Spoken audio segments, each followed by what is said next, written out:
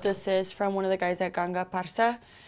He is giving that to his dad. It was his first Rolex, and he wants to give it to his dad in Spain. He just wants it like cleaned up real nice, oh, and if you can tighten the band a little bit. It's not that bad.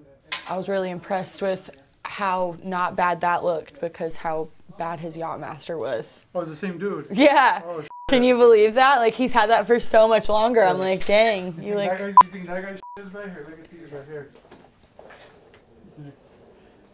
Wife got Oh mad. my god. We've watch. had we've had that where people have come in and their wives have thrown the Look at the watch. insert.